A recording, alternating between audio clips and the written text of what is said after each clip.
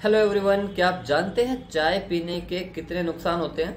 जितने भी लोग खाली पेट चाय पीते हैं, बहुत सी ज़्यादा प्रॉब्लम्स उनके शरीर में पैदा हो जाती हैं। जैसे गैस एसिडिटी कब्ज रहना, और भी अन्य तरह की प्रॉब्लम शरीर के अंदर पैदा हो जाती हैं। क्या आप भी बचना चाहते हो उन चीज़ों से? क्या चाय का ढूंढना चाहते हैं? और बहुत से लोग तो ये कहते हैं, अगर हम चाय ना पिए तो सिर में दर्द होने लगता है। होता है ना ऐसा? भारीपन सा लगने लगता है। तो हमारी जो कम्युनिटी है कम्युनिटी में ज्वाइन करके बहुत से लोगों ने अपनी चाय को चेंज करके अपने अंदर जो बदलाव लेके आए क्या आप मिलना चाहेंगे उन लोगों से? तो आइए मिलवाते हैं उन लोगों से जो एक एक मग भर भर के चाय पीते थे और आज उनकी किस प्रकार से लाइफ चेंज हो चुकी है। तो आइए मिलते हैं उन सबसे। आइए मेरे साथ। सर मेरी तो पूछे वो सारे हंसेंगे। कोई बात नहीं बताइए। सर ये मग्गा है दिखाई दे रहा है? हाँ जी।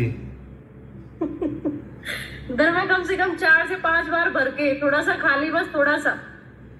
अरे अरे अब ये वो- समझ लो कि सर शुरुआत में क्लास ज्वाइन करी थी ना? हाँ जी।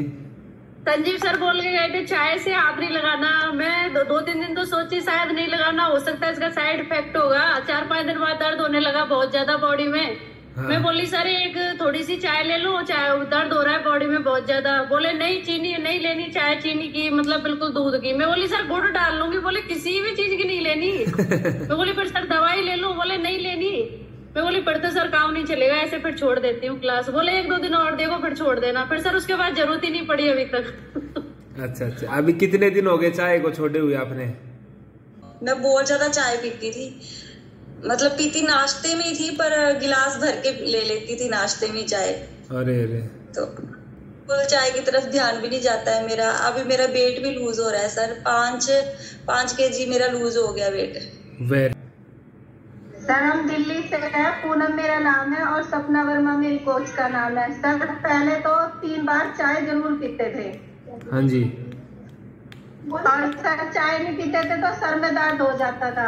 अच्छा। बहुत मतलब लत लगी हुई थी इसकी। अच्छा जी।